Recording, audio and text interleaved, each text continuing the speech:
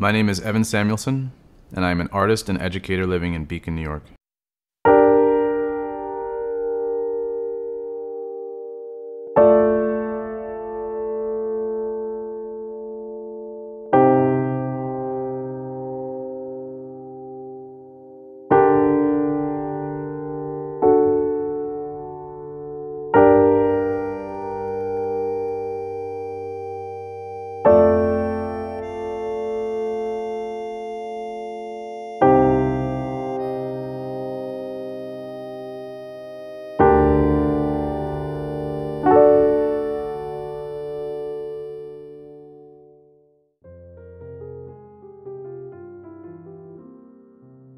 I like the idea of creating the entirety of a piece, from start to finish.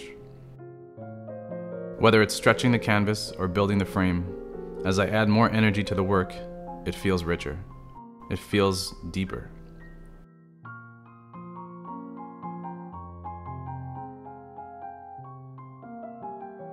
I've been creating in different forms since I was young, and about seven years ago, I made the decision to become more disciplined with oil painting. It's been the best decision of my life.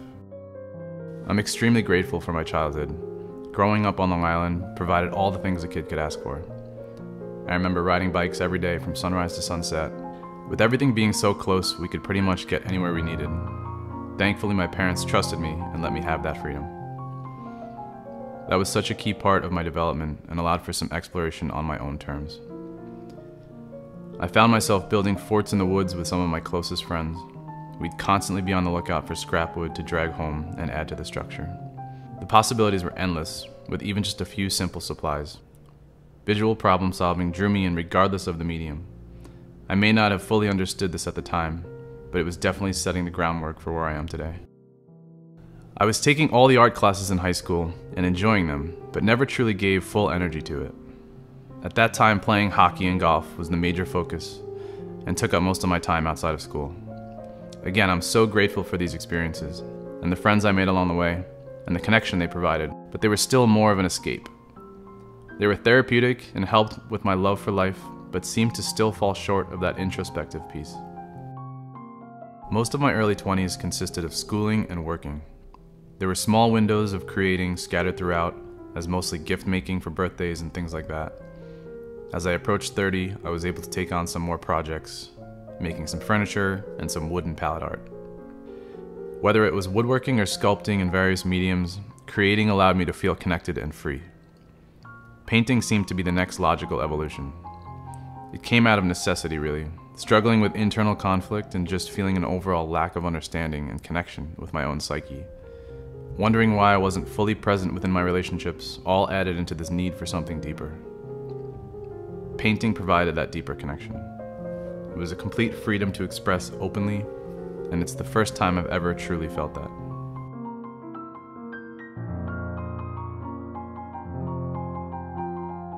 It seemed natural for my earlier subject matter to be skewed self portraiture. As I looked inward, the knots began to loosen up. Honest self reflection allowed for a letting go of these preconceived ideas of who I was.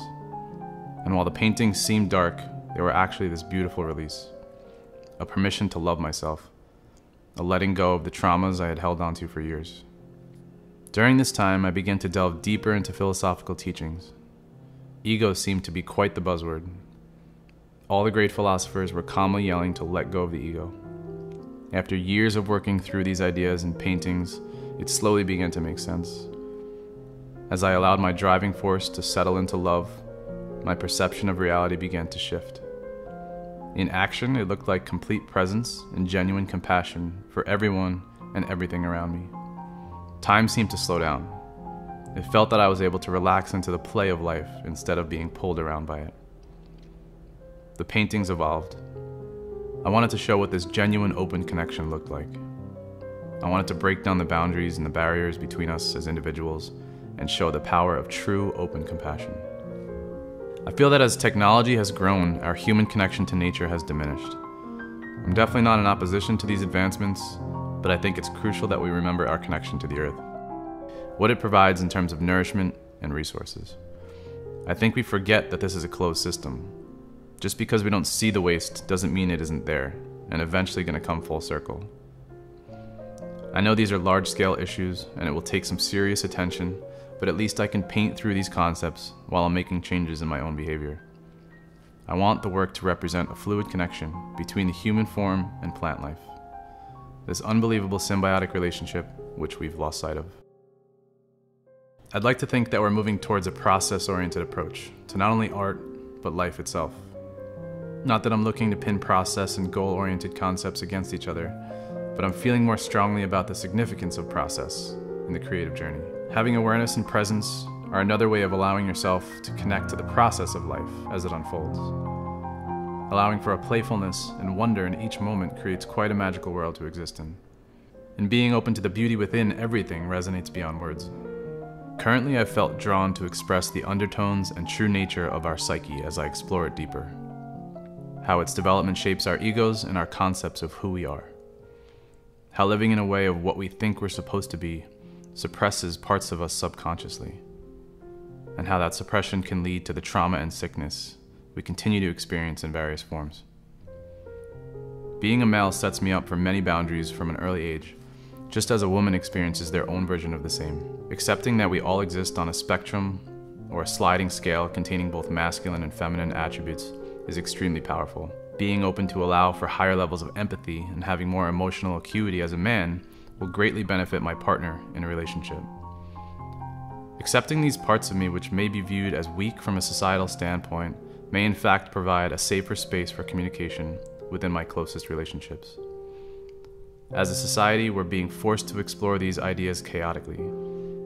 We are seeing it play out not only in us as adults, but in our kids as well. I hope to provide some grounded context with these current paintings, which can help show the beauty that exists in all parts of us.